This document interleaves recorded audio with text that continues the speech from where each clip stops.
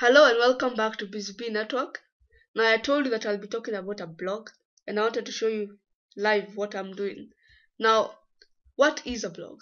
A blog is a personal website or web page on which an individual records opinions, links to other links to other sites, etc. on a regular basis.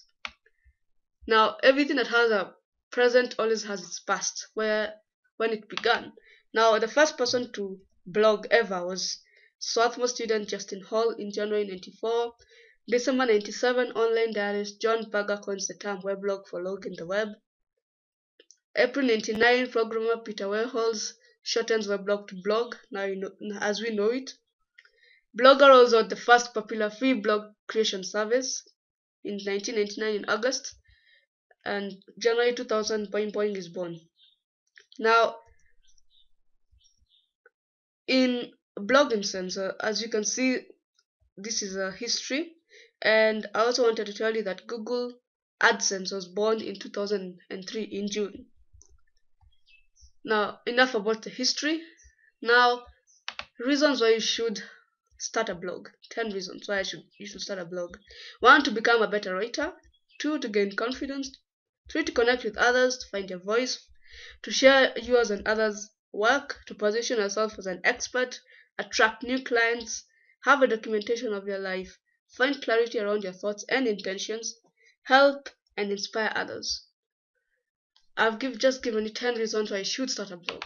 Now, the other reasons why you should not start a blog. One, you have no idea what you're talking about. You have no clue about blogs, what they're all about. Three, you take it personally, or maybe you take it too seriously. Now, this comes to the mindset of criticism. Everywhere you go online, everywhere you go, even on your day-to-day life you'll find critics. Critics are there and forever remain there. So if you're not open-minded you will you will not succeed in blogging. Now audience.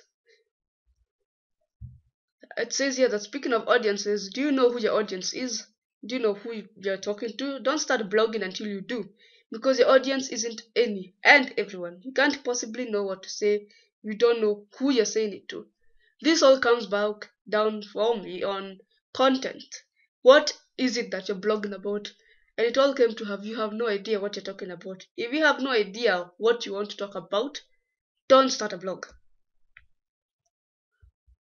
Now, according to todaymate.com, the number one reason why you should not blog is you have no intention of doing anything with it. Uh, this I would illustrate it in a point that you have already created a blog, but you don't really have that goal of what you want to do with your blog. For example, if I was to create a blog, or if I actually I have a blog on Tumblr, and the reason why I created my blog is to market my YouTube channel. As you can see, I have a goal. Why do I want to, to start a blog? Now, I'll highlight some of the reasons as we finish the video and I just want I wanted to explain one thing about blogging is that if you're starting to blog or if you're starting a blog don't think of it like something that is boring or you're just writing and so on and so forth. Think of it something like you are happy to do it. You're happy to blog. You're happy to you're happy to share your ideas with other people. Don't think of it so much as a job because it's yes i might i must say that it is hard work but if you take on it with a positive attitude trust me you'll get far. Now a quote i love saying is that your desire in order to succeed your desire to succeed should be greater than your fear of failure if you keep on quoting that every day like me you'll get somewhere. So I'll highlight a few reasons why you should start a blog and why you should not start a blog in non-detailed form.